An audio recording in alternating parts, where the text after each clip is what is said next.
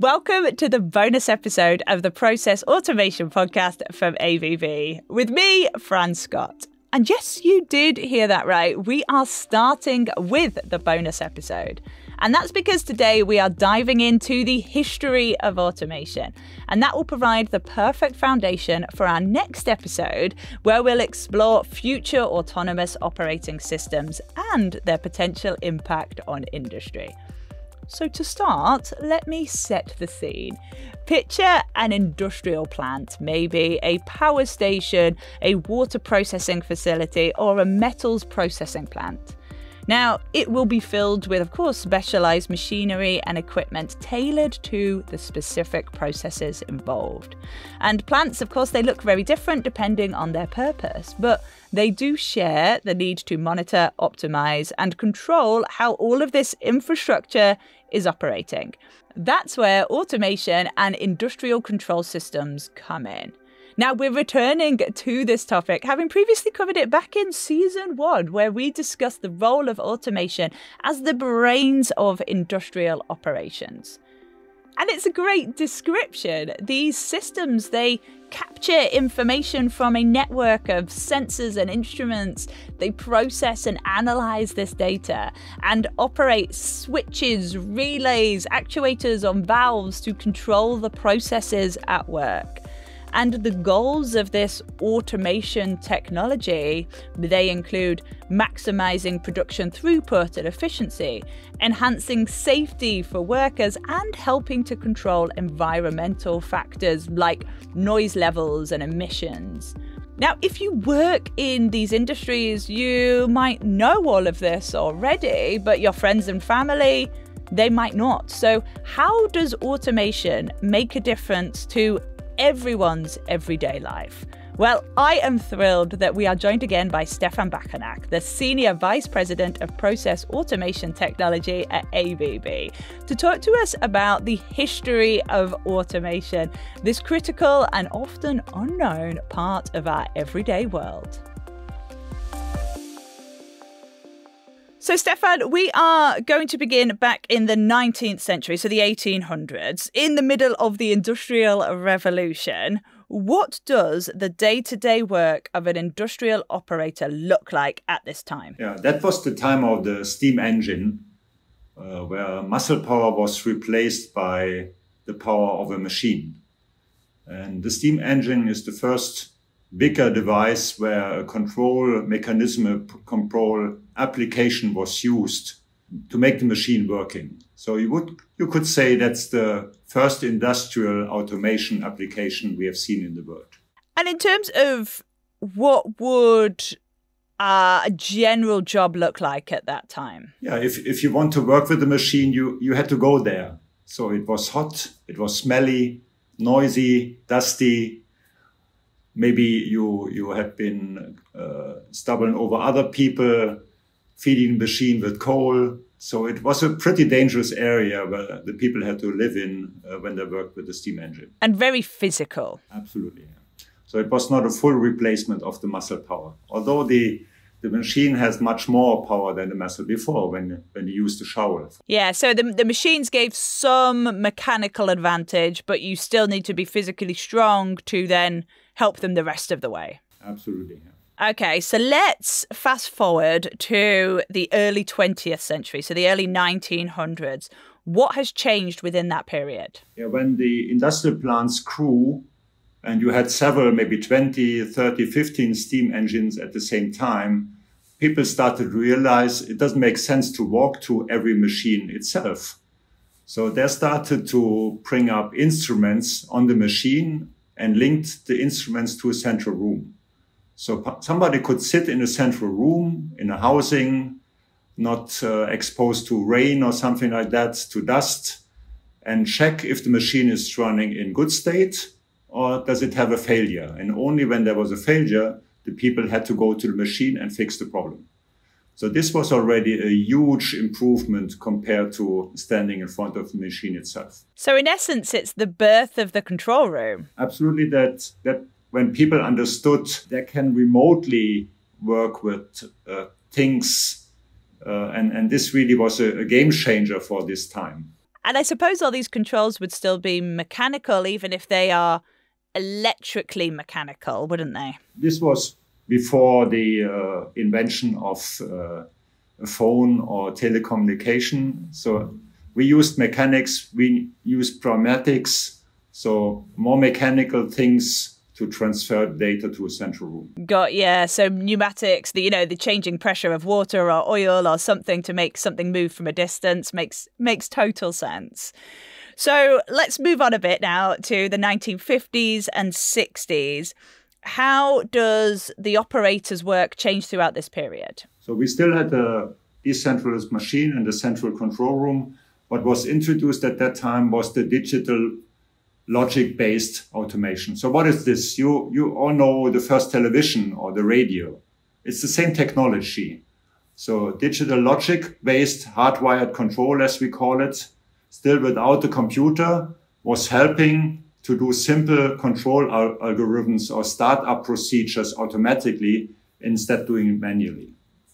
And, and this was another leap step for automation because the, the first things which only had been done by the brain of the operators now moved into the machine. Before it was still only in the head of the operators, and now it's done by, you could even call it a robot in today terms. So I suppose it was the, would you say that's the introduction of automation? No, our definition of automation is, is uh, a bit broader. So automation is even the mechanical vice on a steam engine but it's the extension, the innovation of automation. That's the way I would put it. Understood, understood. So things don't actually have to be uh, electronically controlled for them to be automated. That makes sense. Thank you for clarifying that. I just want to pick up on that logic control. So, in terms of it, would basically be like, if this, then do that. If this, then do this other thing. And that's what you mean by the logic control system. Yeah, yeah. There was a there was a copper cable going to this logic controller and it entered to an AND gate, how we call it. So if two positive signals are on the AND gates, then there was a positive signal at the outgo. But it, that was all electronic. There was no computer, nothing involved. It, it was physics like in a radio or a television device. Understood. So I call that physical electrical controller. So like all of these relays and everything, they're very physical rather than being computer based, but it's still control. And it's, it's amazing if you go to, even today, industrial plants are using that technology. And if you go in those cabinet rooms, you see 50 cabinets and they're all interconnected with thousands of copper cables, small thin cables. And this is the logic between those devices. And it's, it's really amazing because you can see the automation. It's visible. You can touch it. It's not inside a computer. It's, it's it's it's really tangible and what we do very often with young young engineers to bring them to those sites that they understand how automation evolved over the years. Absolutely because that's something that your your gen zers they will perhaps not understand that before computers there was this this physical uh these physical electronics. Absolutely yeah. So let's keep on going on our timeline. So, reaching the 70s, 80s, and 90s, what does the role of a plant operator look like now? That was the time when computers have been introduced. So, you have been able to bring a lot of information on the screen. And uh, the operator could sit in front of a, of a screen and see the pressure, the temperature, how the plant is running, if there is any failure, that was the introduction of alarm lists. Before they had they have huge tableaus and they had uh, uh, lights which indicated with red, yellow, or green how the plant is running. And now all those lights have been moved into a computer, which which gave them a lot of flexibility how to operate the plant. And uh, all of us know the development of computers, so this itself was a continuous innovation, continuous revolution, because with more CPU power, you could do more things. And every, every 10 years, there was a kind of doubling or factor 10 times more power available. And that was really the big driver of innovation in the automation scene at that time. Absolutely. And I suppose then it kind of makes sense that the control rooms that I visit, which are of very big infrastructure providers have that 80s, 90s feel because that is when they were first introduced. The way those control rooms look didn't change a lot. But the what in the computers and what they can do with it changed a lot. You don't see that when you walk into a control room. Uh, it's there still might be a very old chair where the people are sitting, but the computer normally is pretty new, pretty pretty advanced. Yeah. Absolutely, and what's going on behind the scenes is advanced. Exactly. Yeah. So you don't should not misjudge by the by the way the rooms look what technology is used. I have seen pretty old control rooms with the highest advanced technology you can imagine. Absolutely. And so we are catching up with the present day slowly. So, how has automation evolved over that last remaining 25 years? What have we seen change? A, a big step was when 2004 we introduced 800xA, uh, which is extended automation. So there we introduced the concept of aspect objects. And today, with the naming we have today, you would say this was the beginning of digital twin, where we want to make a, a software mirror of the reality. An aspect object was the first thing going that direction where we made a motor an object in our control system. And around this motor, you could open the documentation, you could open the alarm list. So that was a kind of how we changed the data structure of the DCS. So it was running before on a computer and afterwards, but we introduced the data handling as a new concept into the industry. And now we're taking the next step by connect the control system towards the cloud using AI, making data available, uh, make it happen that cloud-based applications can be used, the data out of that in the control system. So this open to the, to the outside world. This is the final step uh, we are introducing at the moment. And so, in terms of that operator's job role, what would they be doing today? Today, the, the, the operator still has the task 24 7 365 days a year to run the plant. So what we do with our control system, help him to do that in an efficient way, help them to do it in, in, in the best way to don't miss a failure, be fast when a plant fails to get it up running again. So the, the change in the, in the screens is not so big in the recent years, but the additional tools we give the people to be more efficient, to be more reliable. This is where the improvement is happening at the moment. So if you from outside walk into those rooms, they may not look very different the last 10, 15 years. But behind the scene, there's a lot happening, which helps the operators a lot. Understood. Gosh, so it's been it's been quite a change, hasn't it? But at the same time, these are industries and infrastructures that can't really have downtime, right? True, and and that's why the control room is the heart of the plant. So th- those control rooms are occupied 24 7. Uh, meanwhile, when, and that's another advantage regarding productivity, meanwhile, very often there's only one person sitting in the control room. If you go back 15 years, there maybe have been five, six, or seven sitting in the same control room doing the same job. And, and that's what we mean with productivity. We don't take any shortcut on the, on the process plant output. We try to make it more productive by doing the same or even better with less people. Uh, and that's possible with the new technology and will, will continue because we want to head towards autonomous operation of those plants. So our final target is at the end be able to run the plants without direct interaction of the humans. And it's I suppose it's kind of less people at the let's call it the coal face, but there might be more people behind the scenes innovating. Yeah, we, it's not about reducing the jobs. Is as with the steam engine, standing in front of the machine is worse than being in a central control room and all, only visit the, the, the steam engine if there's a failure.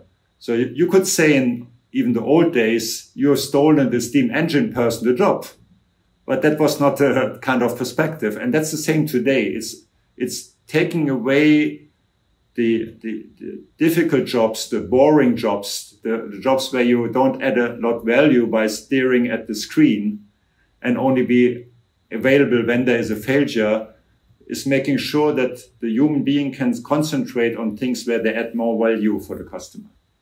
And, and this is the identical perspective. Absolutely. And it does echo the sentiment back from the Industrial Revolution of where actually, when it came to like the spinning jenny, it was like, oh, actually, we like doing this. But actually, when it came into practice, people were like, oh, we see the advantage that this is giving us. And perhaps we shouldn't have been doing this as a human being in the first place. So gosh, it's been it's been quite a change over those centuries and the last few decades. So where do you see it going next over the next 25 years, let's say? I think when you are in a situation you you always think things are going slow. But if you look, look back 100 years, you see, okay, it's, it's amazing the volume of change we did in that 100 years my expectation it will go even further. So there will be just the implementation of AI in our industry will keep us busy the next 10 to 15, 20 years. And I don't know what will come after we have autonomous operation of most of the plants. So that's a tough speculation. I have no idea. So let's implement those changes we have now towards autonomous operation and then future will show but I'm sure it will never stop. And when do you see autonomous operation coming into practice? Is it already there? And when will it be everywhere? It's already there. So we have plants that run autonomous overnight, for example. Uh, my speculation, the most critical plants, maybe another 10, 15 years, but it's hard to guess until we see it there. And when it comes to what's next, that's anyone's guess. I quite like that. Let's let's tackle this bit first, and then let's see what the next fifty years brings us. But um, it will bring change, no doubt. And this is what I tell, especially young people, young engineers.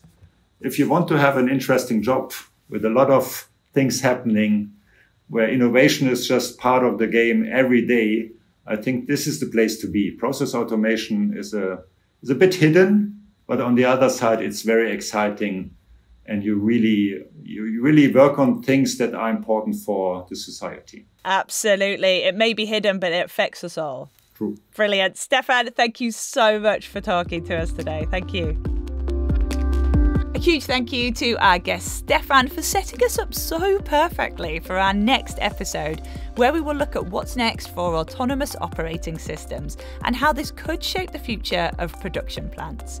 If you want to get involved and join us as an expert, then follow the link to ABB's website in the episode description, where you can let us know your domain of expertise. I'm Fran Scott, and the Process Automation Podcast is a fresh air production for ABB. Follow now for free wherever you get your podcasts so you never miss an episode.